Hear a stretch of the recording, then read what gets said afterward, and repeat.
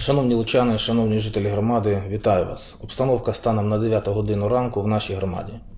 Всі установи, всі організації, всі підприємства, які підтримують нормальну життєдіяльність нашого міста і наших сіл, працюють в штатному режимі, всі на своїх робочих місцях і виконують свої функціональні обов'язки. Громадський транспорт працює, працює по графіку вихідного дня. Однак на даний момент необхідності додавати більше транспорту немає.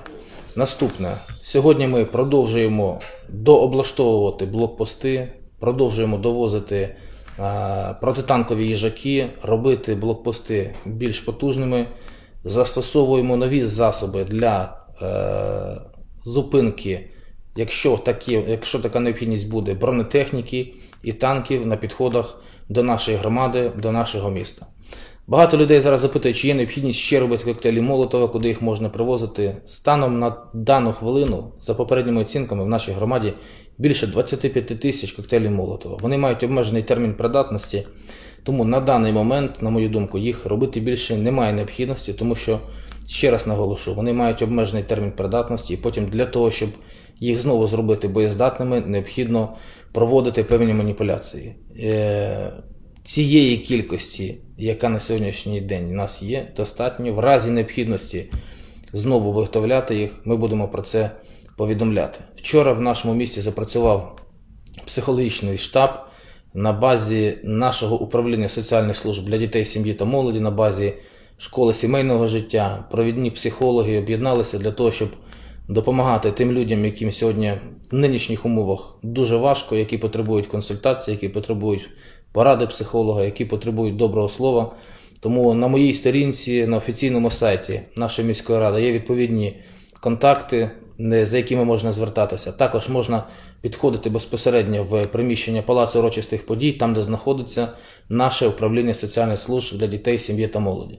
Продовжує свою роботу Центр е, допомоги теробороні. Колосальна кількість людей, тисячі людей приходять в цей центр для того, щоб допомогти нашим нашим захисникам, для того, щоб допомогти теробороні.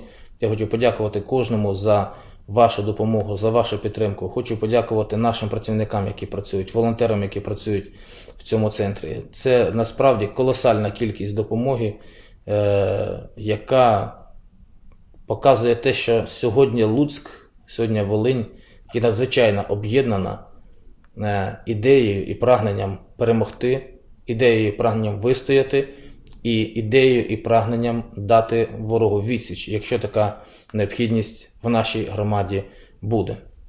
Наступне, багато людей далі продовжують просити вимикати все світло, вимикати світло і в приватному секторі, і в місті. Повторюю, я вже писав допис щодо цього у Фейсбуці. Такої необхідності повністю вимикати світло на даний момент немає. Чому? Тому що в умовах нинішнього ведення війни, в умовах нинішніх технологій, сил і засобів ведення бою є світло в місті чи немає світла, для ворога немає ніякого значення. Наведення відбувається по супутнику в абсолютній більшості випадків і за допомогою інших е, сучасних засобів. А відсутність світла і в селах повністю відсутність світла, і е, в нашому місті вона не дозволяє патрулювати місто, вона не дозволяє розшукувати диверсійно-розвідувальні групи, вона не дозволяє оглядати автомобілі, переслідувати підозрілі автомобілі. І сьогодні відсутність світла, повна темнота, вона сприяє тому, що мародери можуть обкрадати будинки, можуть обкрадати квартири, тому що ми всі розуміємо, що частина жителів нашої громади в силу тих чи інших причин виїхала за межі міста, за межі громади, за межі області. Тому немає такої необхідності. Прошу зберігати спокій, не піддаватися на різноманітні інформаційні вкиди щодо освітлення і не розповсюджувати паніку. Необхідно зберігати розум холодним. Наступне питання. Е, від вчора, від 7 години ранку, я підписав розпорядження про заборону продажу алкоголю в нашій громаді. Переконливо прошу всіх суб'єктів господарювання дотримуватись цієї заборони. Є окремі випадки, коли громадяни звертаються і повідомляють про ті е, суб'єктів господарювання, які далі продовжують продавати алкогольні напої. Я хочу сказати, що однозначно буде реагування правоохоронних органів на такі випадки. І після того, як закінчиться війна і ми переможемо, ми запам'ятаємо всіх цих суб'єктів господарювання, які в умовах воєнного часу продавали алкоголь. І я думаю, що ми в лапках їм, після того, як ми переможемо, ми їм подякуємо. Тому застерігаю від порушення розпорядження щодо продажу алкоголю в умовах воєнного стану.